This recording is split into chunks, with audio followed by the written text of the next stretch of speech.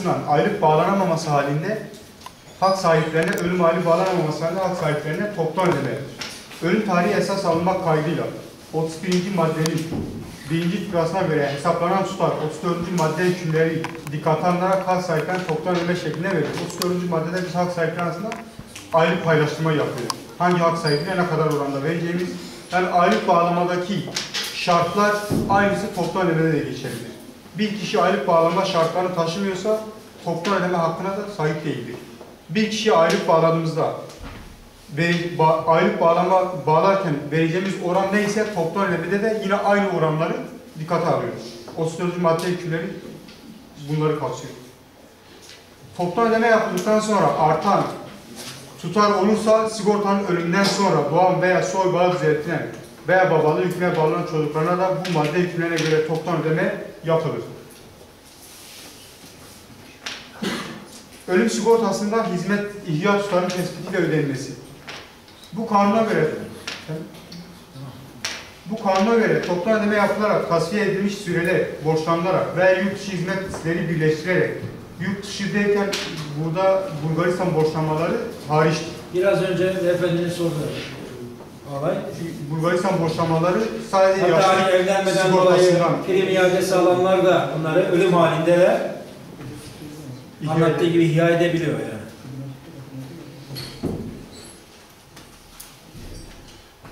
Sonradan hizmet tespiti nedeni hak kazanan sürelerin eklenmesi suretiyle ölüm sigortasından yararlanmak için gerekli prim ödeme gün sayısının tamamlanma, tamamlanması halinde hak sahiplerinin yazılı isteği üzerine ihya edilir.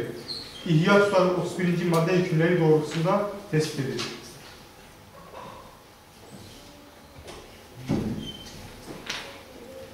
Toplam Toplam ödemelerdeki temel kriterimiz şudur. Hizmet tasfiye edilmiş hizmette şayet yeniden aylık bağlanma hakkının ortaya çıkması tespit edilmesi halinde sadece ihya edilir. Başka türlü ihya etme şansımız yok. Daha önce 506 sayılı kanunda aylık, ölüm aylık bağlama oranı, e, aylık bağlama hakkı 1800 gündü. Ama 2006 11. ayda bu 900 güne düşürüldü. Bundan önceki tarihlerinde hizmet tavsiyesi yapılan hizmet, ölüm toplam ödemesi yapılıp hizmetleri tavsiye edilmiş hak sahiplerine aylık bağlama durumu değiştiği için bunlara ihya yapma hakkı tanındı. Yani ihya yapma hakkı ölüm aylığının yeniden bağlanmış o bağlanma şartlarının meydana gelmesiyle ilgili bir durumdur. Evlenme yardımı.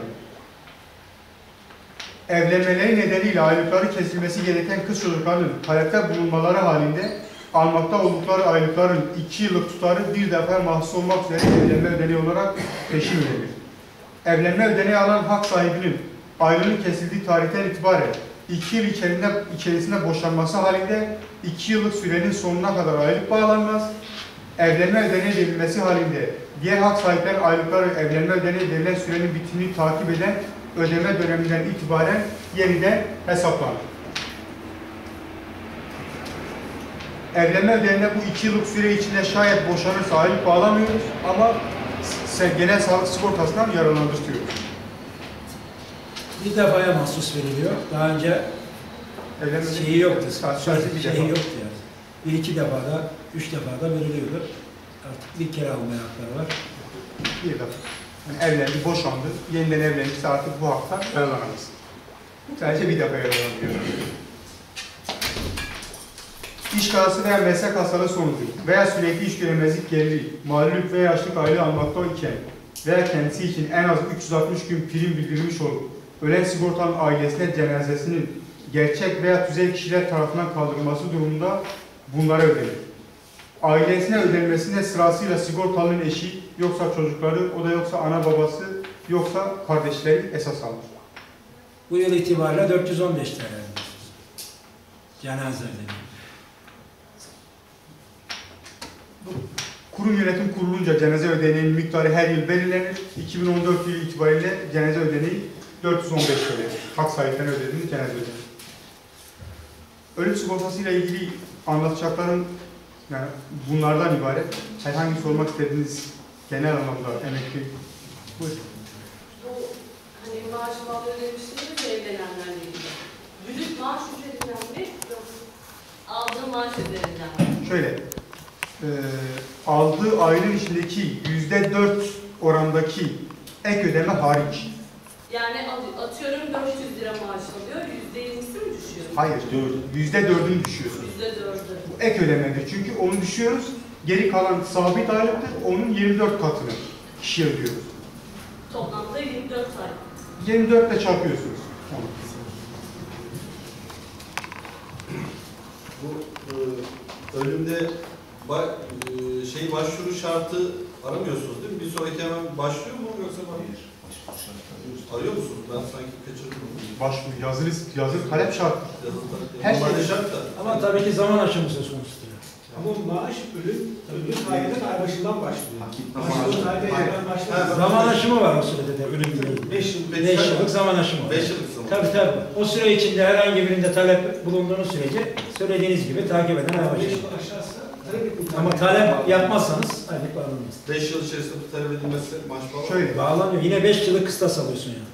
Şimdi 506 sayılı kanunda kişi 5 yıl içinde aylık talebinde bulunmazsa 5 yılı geçtikten sonra yazılı talep tarihini takip eden ay baştan başlatır. Ama 5510 sayılı kanunda bu değiştirildi. Kişi yazılı talep tarihiyle hak sahibi niteliği taşıdığı talep, talep arasında 5 yıldan fazla bir süre varsa yazılı talep tarihinden 5 yıl geriye doğru giderek ödeme yapıyoruz. Evet. Tabi bu 1.12.2008 tarihinden önceki bir tarihe denk gelmemek koşuluyla. Buradaki tat ölüm tarihi itibariyle de şu olması lazım yani. Prim ve gecikme zammı borcu olmaması lazım. 1800 gün olması lazım.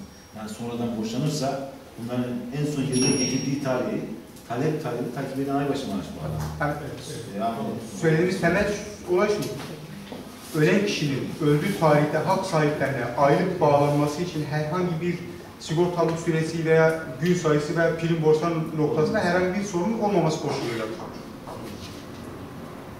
Peki anne babaya ba- bağlanırken mesela 900 gün şartını doldurmuş ama ba- başvuru anne babaya bağlanırken anne babanın e, herhangi bir geliri olmaması, maaş almaması gerekiyor mu yoksa yani herhangi bir geliri olmaması lazım değil mi? Maaş da olmaması lazım. Aile içinde kişi başına düşen gelirin asgari ücretin net tutarının altında olması lazım. Bu birinci kriterimiz. Kendinden gelir ve aile olmayacak. İkinci kriterimiz gelir ve aylık eş şey çocuklardan almış olduğu yani ölen çocuklardan almış olduğu gelir ve aylıklar bunun dışındadır. Kendinden bir gelir aile olmayacak.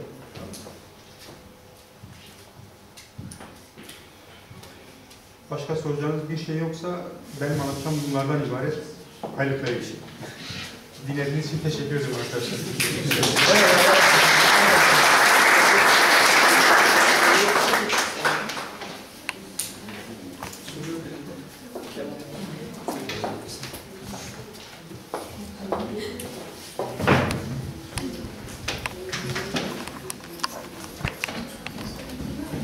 Bağcılar SGK Müdürümüz Sayın Halil Cırtık Bey'e ve arkadaşlarına sunumlarından dolayı teşekkür ederiz.